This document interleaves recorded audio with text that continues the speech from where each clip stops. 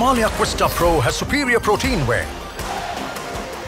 The healthy way to fitness. Gyanvapi मामले में supreme court ने फ़िलहाल यह साफ़ कर दिया है कि अगले आदेश तक ज्ञानवापी परिसर से मिले शिवलिंग की आकृति को संरक्षित रखने का आदेश जारी रहेगा, यानी जो पुराना आदेश 20 मई 2022 को सुप्रीम कोर्ट ने दिया था उस आदेश को लगातार यथास्थिति बरकरार रहेगी, यानी उसकी सुरक्षा और संरक्षा को लेकर जैसी व्यवस्थाएँ चल रही हैं, वैसी ही चलती रहेंगी। यानी कोई उसे छू नहीं सकता। उसके सुरक्षा और संरक्षण को लेकर जो उपाय किए गए हैं, वो वैसे ही बरकरार रहेंगे। ना वहाँ पर वज़ू की जा सकती है। साथ ही ये कहा गया है कि नमाज़ को लेकर जो सारी व्यवस्थाएँ चल रही हैं, वो वैसे ही चलेंगी। फ़िलहाल दूसरा मसला ये था, जो सुप्रीम कोर्ट के आगे कहा गया कि हिंदू पक्षकारों ने कहा कि अब मुस्लिम पक्षकारों की याचिका जो सुप्रीम कोर्ट तक आई थी, वो अब प्रभावीहीन निष्प्रभावी हो गई है, बेअसर हो गई है, लिहाजा अब उसका कोई मतलब नहीं है।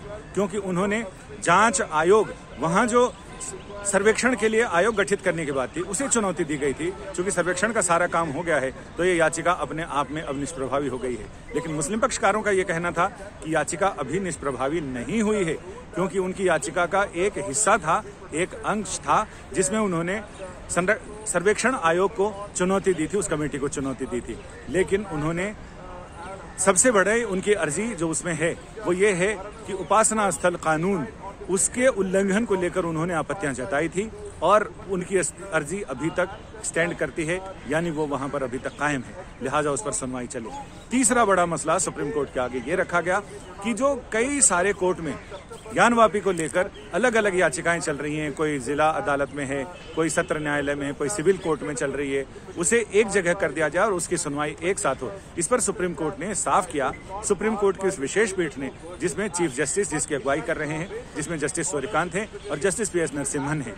इस पीठ ने यह साफ़ कर दिया कि जिला जज को ये उनके विवेक पर छोड़ दिया है कि वो इस मामले में फैसला करें, लिहाजा याचिकाकर्ता उन तक अपनी बात रखें और वहाँ अप्रोच करें और वहाँ जाकर उन्हें बताएँ तो वो इस मामले में फैसला लेने में सक्षम है कि ट्रांसफ़र पिटिशन अलग अलग कोर्ट से मंगाकर एक जगह कहाँ सुनवाई करे, कौन सी, कौन इसकी सुनवाई करेगा। तो इसमें वो फैसला लेने में सक्षम है, लिहाजा उन्हें फैसला लेने दिया जाए। और हाई कोर्ट में जो मामला चल रहा था, इलाहाबाद हाई कोर्ट में, वो मामला आगे सुनवाई के लिए टल गया है। तो फ़िलहाल, बड़ा आदेश सुप्रीम कोर्ट का ये कि अगले आदेश तक ज्ञानवापी परिसर में मिले शिवलिंग के संरक्षण को लेकर जो उपाय किए गए हैं, वो जारी रहेंगे। अभी तक सुप्रीम कोर्ट ने इनके संरक्षण को लेकर जो समय अवधि तय की थी, वो कभी आठ हफ़्ते, कभी और समय तारीख देकर आगे बढ़ाई। ये 12 नवंबर को समाप्त हो रही थी। लिहाजा हिंदू पक्षकारों का यह कहना था कि अवधि समाप्त होने से पहले सुप्रीम कोर्ट बाकायदा बाजाबता इसे आगे बढ़ाए और इस पर अपना अपना आदेश सुनाए। सुप्रीम कोर्ट ने अगले आदेश तक